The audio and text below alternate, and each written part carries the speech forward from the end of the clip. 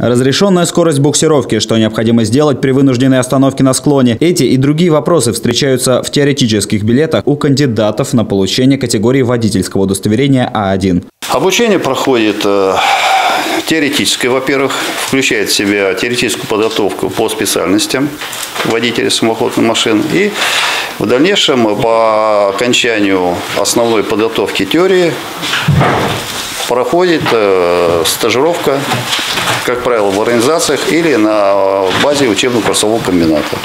За исключением водителей самоходных машин категории А1. Это не требуется. Обучение на категорию А1 длится 90 часов. После экзамен, теория и практика на мотовездеходах. В билетах 8 вопросов, ответить на которые нужно за 8 минут. Те, у кого есть водительское удостоверение, от теоретического экзамена освобождаются, а после – практика.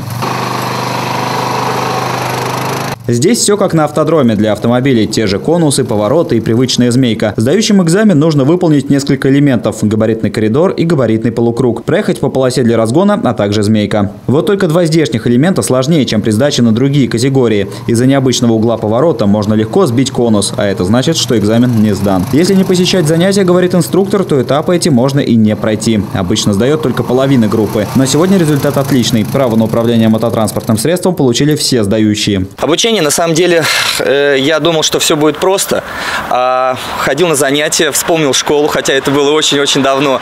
И преподаватель очень все хорошо объяснял. Потом началась практика, было очень весело, интересно.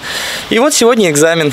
Все пролетело очень быстро. Проходить обучение лучше перед покупкой мотовездехода, однако инспекторы отмечают, что зачастую люди поступают наоборот, а это может привести к печальным последствиям. В 2019 году уже произошло три ДТП с мотовездеходами. В этом году э, был, значит, э, дорожно-транспортное происшествие.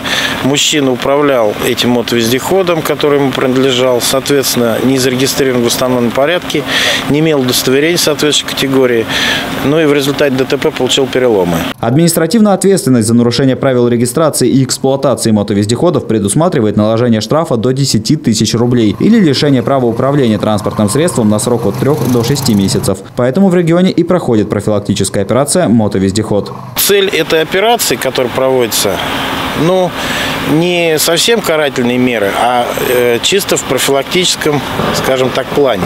Объяснить людям, что они не имеют права управлять без соответствующего удостоверения, и в том числе и это э, транспортное средство они обязаны зарегистрировать в установленном порядке.